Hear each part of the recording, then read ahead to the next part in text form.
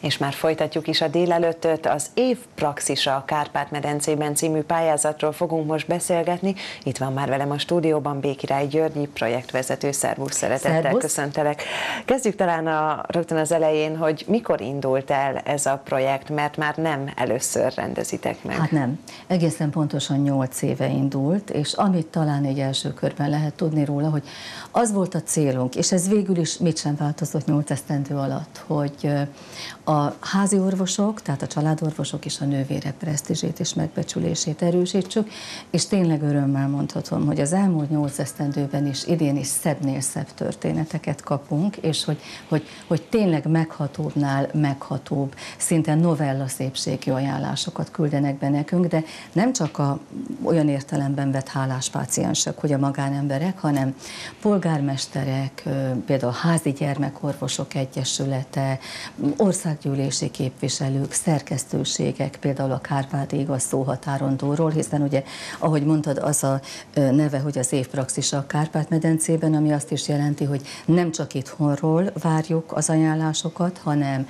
a felvidékről, Erdélyből, Vajdaságból és a Kárpát-aljáról is. Tényleg ez egy határokon átívelő pályázat. Mi elsősorban ennek a pályázatnak a céljait felhívni talán olyan orvosokra a figyelmet, vagy olyan nővérekre, ápolókra a figyelmet, akik mondjuk nincsenek reflektorfényben? Nem, nem, nem, nem, nem mondanám. Inkább azt mondanám, hogy a, a, a, ahogyan indítottam ezt a beszélgetést, hogy hogy mi azzal tudjuk erősíteni a házi orvosok és a nővérek presztízsét és megbecsülését, hogyha látjuk és láttatjuk az ő szolgálatkészségüket, az ő, nem azt mondom, hogy munkájukat, mert azok az emberek, akik bekerülnek ebbe a pályázatba, azoknak mélységesen mélyen a hivatása a házi orvoslás, ugyanúgy az orvosnak, mint a nővérnek. És ha most valami nagy makro összefüggést akarok még rátenni erre a történetre, akkor azt mondanám, hogy hogy azt is fényesen be tudjuk bizonyítani. Te is tudod, hogy a média tulajdonképpen nagyon sokszor hajlamos arra, mert hogy a pozitív hír nem hír, pedig az kéne, hogy legyen. Szóval hajlamos arra, hogy a műhiba per, a rosszul látták el, és e- ezek mind igazak, tehát nem vitatkozik vele az pont ember. most ugye napokban de, egy, egy csodáról de, is be de, tudtunk számolni. Tudom, de, de most mi ugye ezzel az egésszel, ahogy mondod, a csodákat szeretnénk illusztrálni, és azt szeretnénk bizonyítani, hogy igenis, hogy tele van az ország hétköznapi csodákkal, meg a határon túli magyar orvoslás is, és hogy olyan orvosokat tudunk bemutatni, most egyetlen példát mondok neked, de sorolhatnék százat, hogy 79 éves doktornő, és azt írja az ő ajánlója, hogy neki annyira fontos még mindig az ő betege, hogy fekvő gipszel a lábán bemegy és rendel. Tehát most mondd meg nekem, hogy mely, most el tudsz képzelni egy fodrászt, vagy egy, most teljesen mindegy, hogy, hogy, hogy milyen szakmát mondok, hogy bemegy és dolgozni fog fekvő gipszel a lábán. Tehát nem az is ezért elgondolkodtató, hogy 79 évesen még gyakorolja a, a hivatását, és hogy aktívan tényleg rendel a házi orvosi rendelőben, ez is elgondolkodtató. Na most akkor erre mondok még neked két dolgot. Az egyik az, hogy a házi orvosi korfa sajnos, és ezt mondjuk nem lehet azt mondani, hogy jaj, de jó, hogy ez így van, nagyon kitolódott, és nagyon sok a 60 fölötti házi orvos Magyarországon, és nagyon egyre kevesebb a fiatal. Ami viszont nagyon érdekes ezen belül, a tavalyi díjátadón egy 80 éves házi orvos Körös Ladányi, emlékszem rá világosan, kapott, ott volt a legjobb hazai tíz között, és kapott egy életműdíjat is. És amikor megkérdeztük tőle, hogy videófilmeket csinálunk és pakoljuk föl a YouTube-ra, hogy meddig szeretne még rendelni. Egyébként tökéletes szellemi frissességgel állt ki és beszélt, és azt mondta, hogy hát az a helyzet, hogy neki egy 105 éves japán orvosa képe, aki 105 éves korában vonult vissza, és ő úgy gondolja, hogy ha ő meg tudja őrizni a szellemi frissességét és a, az idézőjelbe téve korához képest fiatalságát, akkor ő még csinálja. Hát ilyen példaképek mellett nem is lehetne más célkitűzése, mint hogy tényleg akkor ő is száz éves koráig eh, házi orvoskodjon. Azért elgondolkodtató, hogy tényleg a, a médiában találkozunk eh, Mondhatni, hogy hetente olyan hírekkel, hogy, hogy házi orvos hiány van Magyarországon, egyre kevesebb talán az orvos is Magyarországon, akkor egy ilyen pályázatnak mi lehet még másodlagosan a, a célja, vagy van másodlagos célja? Hát most azt akarod nekem sugni, hogy természetesen... Próbálom összekötni a dolgokat. Hogy, hogy természetesen az lehet a célja, hogy kedvet is csinálni. A, a, azért, azért bánnék hát ezzel. kérdezem, Persze, igen, hogy az. Van? Igen, csak azért bánnék én ezzel a kijelentéssel óvatosan, mert egy fiatal ember elolvassa, hogy, hogy ezek az emberek tényleg alárendelik a magánéletüket. És valahogy úgy látom, hogy, hogy a mai fiatalokból ez a fajta elszánás, vagy ez a fajta szolgálat, nem tudom Igen. másképpen mondani, Igen. nem olyan erős már, mint a régi generáció, mint az előző nemzedékek tagjaiban. Akkor nézzünk ilyen praktikus dolgokat is, hogy mi a pályázatnak a, a menete például. Mondom, baromi egyszerű. Van egy portálunk www.fpraxisa.hu, egyébként tele van fotókkal, történetekkel, tehát abszolút ö, olvasható, sőt, én javaslom is mindenkinek, aki ezt a beszélgetést nézi, hogy kattintson rá és böngészze, mert elképesztően szép és megható és időnként sírásra görbülő szájat ö, felidéző vagy hozó történeteket olvashat rajta, és akkor ennek van egy ajánló oldala, tehát van ilyen, hogy praktus, ugye vannak különböző rovatok, mint minden portálon, praxisok, kérás, és a kérásban egyszer csak ott van, hogy ajánló oldal. Oda rákattint, és ott van, hogy név, ugye nyilván meg kell adnia a saját adatait, meg kell adnia az orvos adatait, és kell írnia egy nem több mint 10-15 mondatos történetet. Ez a minimum. Na most ez persze nem jelenti azt, hogy csak ilyenek jönnek, mert van ilyen is, meg van olyan is, aki mondjuk 10 oldalnyit ír, mert, mert az ő számára annyira fontos az orvos, hogy összeszed még ezer történetet, nem csak a sajátját. Megírja a történetet, egyet kattint elküldi nekünk. Ez az első kör.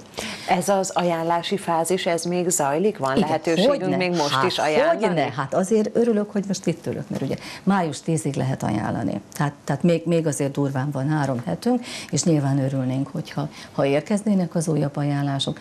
És akkor május 10-én évfélkor lezárjuk a történetet, és ezután következik a zsűri munkája, akik ugye egyébként Ónodi Szűd Zoltán egészségügyi államtitkár, a zsűri elnöke, Szentes Tamás helyettes államtitkár, a társelnöke, és akkor van egy csomó professzorunk, Kásler Miklós, Varsang Csaba, nem fogom felsorolni őket.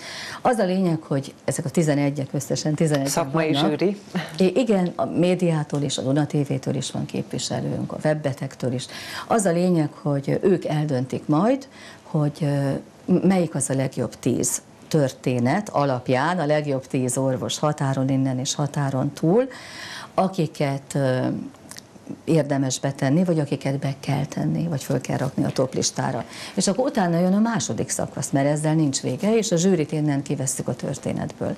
Mert hogy nem a zsűri dönti el, hogy ki nyeri meg, meg ki lesz a legjobb, hanem innentől kezdődik egy olyan nagyon jópofa közösségformáló történet, amikor a mm, helyi plébános, polgármester, mindenki, aki van, elkezd szurkolni, illetve elkezdi szervezni, hogy az ő orvosa nyerje meg. Mondhatni, hogy kampányolnak az orvosokért. Tulajdonképpen igen. Volt olyan, hogy az egyik polgármester tavaly felhívott, hogy, hogy mit szólunk mi ahhoz, hogyha ő szórólapot nyomtat, mármint a polgármesteri hivatal, és ezt bedobálják a lakosoknak, ami rajta van, hogy hol kell nyomni, és milyen gombot, és hány óránként, ahhoz, hogy az ő orvosok nyerjen. Egyébként az ő orvosok nyert, tehát ők ezt olyan jól megoldották, hogy ihajcsóval. Akkor tényleg egy összefogás igen, alakult igen, a közösségen igen, ez, belül ez, ez egyébként egy rendkívül szimpatikus dolog, tehát így, így, így merem azt mondani, hogy a második fázis az egy ilyen mozgalommá vált tulajdonképpen, és akkor a, a lakosok döntik el, vagy hogyha így jobban tetszik, a polgárok döntik el, hogy ki nyerje meg mondanám neked, tavaly 90 ezer voksot kaptak a jelöltek, és 25 ezeret kapott az első helyezett. Tehát az azért ehhez az arányhoz kimagasló, tényleg. Igen. Nagyon szeretem a térképeket, meg nagyon szeretem a statisztikákat. Azt lehet látni, hogy a Kárpát-medencéből honnan érkeznek elsősorban a, a jelölések, hogy mondjuk nagyvárosokból, kis falvakból, vagy mondjuk Erdélyből érkezik a legtöbb. Hogyan alakul ez? Teljesen változó. Most ebben a másodpercben Kárpátaljáról van, hála Istennek a legtöbb ajánlásunk, de ennek egyetlen oka van, hogy nagyon jó együttműködést alakítottunk ki a Kárpáti Igaztó szerkesztőségével, és ők szerkesztőségi újságírói szinten is ajánlanak. Tehát a Kárpáti Igaztó, mint szerkesztőség is küld nekünk ajánlásokat, és az újságíróik is küldenek, mert hát ugye, mint mondtam, bárki beküldheti, tehát természetes személy, magánszemély, jogi személy, annak idején például Tőkes, Tőkés László európai parlamenti képviselő is ajánlott, vagy két éve, egy éve, nem is emlékszem pontosan. Tehát, tehát tényleg, aki úgy ítéli meg, hogy neki itt van keresni valója, az ír.